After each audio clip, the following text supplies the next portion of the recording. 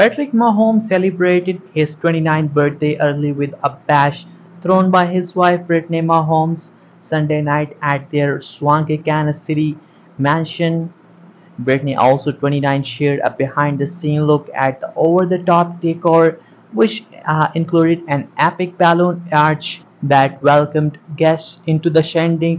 On her Instagram story, the arch was composed of red and black balloons plus silver mylar balloons in the shape of a chain. A nearby sign read Patrick's 29. Also included in the decor were giant mirrors reading 29 surrounded by the same balloon from the colossal arch. Across from the large 29 sat a pile of silver balls decorated with red LED strip lights.